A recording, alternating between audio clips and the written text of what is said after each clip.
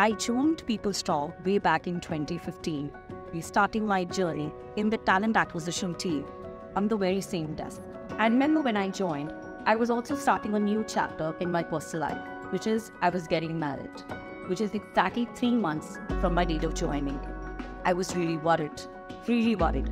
But my managers, my peers, my team, my stakeholders, everybody supported me and gave me a comfort wherein I could balance my personal and professional life both together. We are PeopleStrong.